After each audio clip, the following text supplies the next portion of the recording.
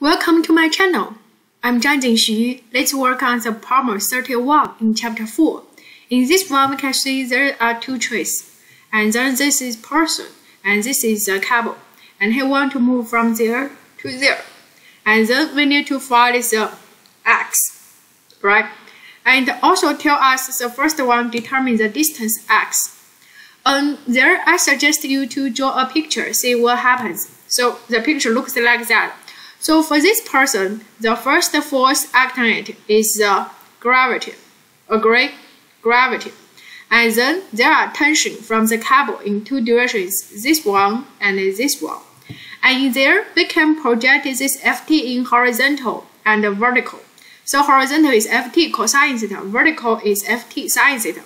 Therefore, if this person want to keep stationary at the vertical direction, vertical direction, Therefore, he must keep the force balanced. That is 2t, 2ft sine theta minus mg equals 0. And there, we need to figure out this angle theta, and then we can look at this triangle. This one is theta, and this one is also theta, agree? And so this side x divided by this side 12.5 equals tangent theta. In this way, we can get x. Agree? Yeah, so it's easy. Another one, uh, the B, ask you if this is incorrectly set up. So this uh, range is just uh, one force.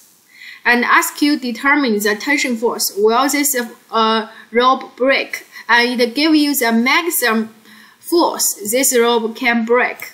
So in this one, we still consider this equation, but this time, this force become one quarter of the x after we, because in this one we do calculation, we can get x is 1.5 meter.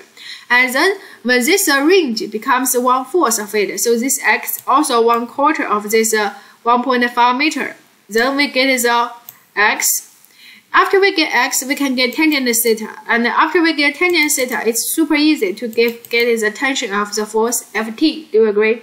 After we get Ft, we compare with the maximum 29 kilo Newton. So this one is okay. It will not break. Thank you.